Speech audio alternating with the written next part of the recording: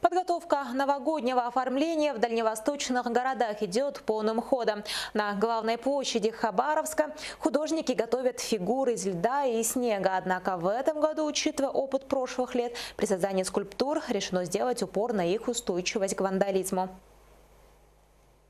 В этом году международный конкурс «Ледовая фантазия» в Хабаровске не проводится, но, несмотря на это, центральную площадь города по традиции украсят ледяные скульптуры.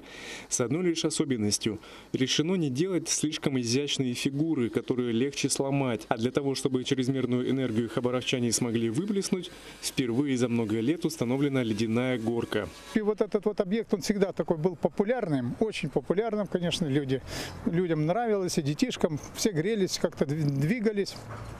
Потом было многолетнее затишье, а, порядка, наверное, 20 лет этого не было, и вот сейчас, слава богу, это вернулось. Постоянную проблему скользкого покрытия площади было решено исправить от обратного.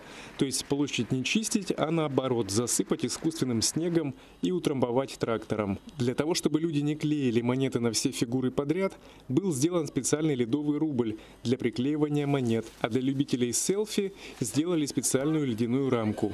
Здесь будут фотографироваться хабаровчане.